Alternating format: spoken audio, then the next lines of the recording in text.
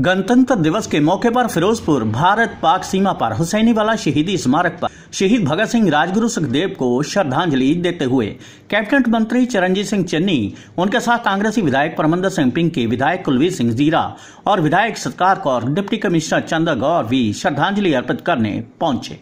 फिरोजपुर से सुखचैन की चिताओं पे लगेंगे हर वर्ष मेले, वतन पे मिटने वालों का यही बाकी निशान होगा।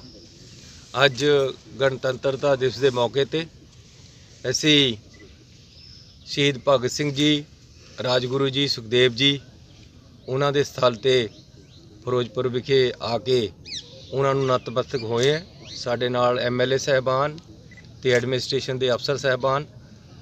ਅੱਜ ਗਣਤੰਤਰਤਾ ਦਾ 70ਵਾਂ ਵਰਾ ਹੈ।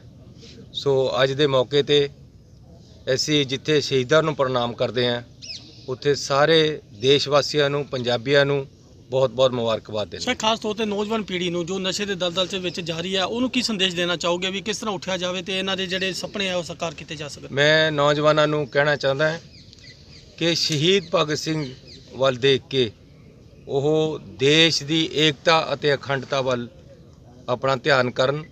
ਜੇ ਕੋਈ ਨਸ਼ਿਆਂ ਦੇ ਸਥਲ ਵੱਲ ਗਿਆ ਹੈ ਤਾਂ ਉਹ ਸ਼ਹੀਦ ਭਗਤ ਸਿੰਘ ਸਾਡਾ ਚਾਨਣ ਮਨਾਰਾ ਹੈ। ਉਸ ਨੂੰ ਦੇਖ ਕੇ, ਨਸ਼ਿਆਂ ਨੂੰ ਛੱਡ ਕੇ, ਦੇਸ਼ ਭਗਤੀ ਅਤੇ ਆਪਣੇ ਜੀਵਨ ਨੂੰ ਸਫਲ ਕਰਨ ਵਾਸਤੇ ਅੱਗੇ ਆਉਣ, ਨਾ ਕਿ ਜੀਵਨ ਨੂੰ ਖਰਾਬ ਕਰਨ।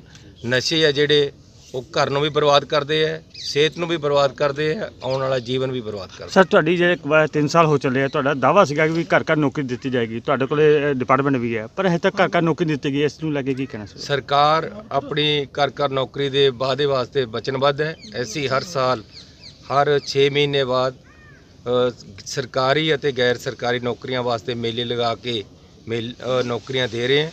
ਤੇ ਆਉਣ ਵਾਲੇ 2 ਸਾਲਾਂ 'ਚ ਇਹ ਜਿਹੜਾ ਟੀਚਾ ਹੈ ਪੂਰਾ ਕੀਤਾ ਸਰ ਜਾਏਗਾ। ਟੈਕਨੀਕਲ ਦੀ ਗੱਲ ਕਰੀਏ ਆਈਟੀਆਈ ਗੱਲ ਕਰੀਏ ਇੰਜੀਨੀਅਰਿੰਗ ਕਾਲ ਕਰੀਏ ਇਹ ਕੰਡਮ ਹੋਏ ਜਾ ਰਹੇ ਫਿਰੋਜ਼ਪੁਰ ਦੇ ਵਿੱਚ ਬਿਲਕੁਲ ਕੰਡਮ ਹੋਇਆ ਪਿਆ ਹੈ। ਟੀਚਰ ਨਹੀਂ ਭਰਤੀ ਹੋ ਰਿਹਾ ਐਸੀ ਇੱਕ ਮਮਦੋਟ ਜਿਹੜਾ ਬਲਾਕ ਹੈ ਉਹਦੇ ਵਿੱਚ ਟਿੱਬੀ ਦੇ ਵਿੱਚ ਇੱਕ ਨਵੀਂ ਆਈਟੀਆਈ ਖੋਲ ਰਹੇ ਹਾਂ ਜਿਹੜੀ ਕਿ ਅਗਲੇ ਮਹੀਨੇ ਅਸੀਂ ਪੁਰਾਣੀਆਂ ਸਰ ਖੰਡਰ ਬਾਰੀਆਂ ਨਵੇਂ ਖੋਲਣ ਦਾ ਤਾਂ ਕੋਈ ਫਾਇਦਾ? ਪੁਰਾਣੀਆਂ ਇਦਾਂ ਕਿ ਜਿਹੜਾ ਇੱਥੇ ਦਾ ਕਾਲਜ ਹੈ ਉਹਦੇ ਵਾਸਤੇ ਅੱਜ ਹੀ ਪਿੰਕੀ ਜੀ ਨਾਲ ਵੀ ਗੱਲ ਹੋਈ ਹੈ। ਇਹਨਾਂ ਨੇ ਬੜਾ ਅੱਛੇ ਸੁਝਾਅ ਦਿੱਤੇ ਹੈ। ਅਸੀਂ ਬਾਹਰ ਦੀਆਂ ਯੂਨੀਵਰਸਿਟੀਆਂ ਦੇ ਨਾਲ ਇਹਨੂੰ ਕੋਲੈਬੋਰੇਸ਼ਨ ਕਰ ਰਹੇ ਹਾਂ ਇਹਨਾਂ ਦੀ, ਤਾਂ ਕਿ ਇਹ ਜਿਹੜਾ ਕਾਲਜ ਹੈ, ਹੋਰ ਅੱਗੇ ਵੱਧ ਸਕੇ।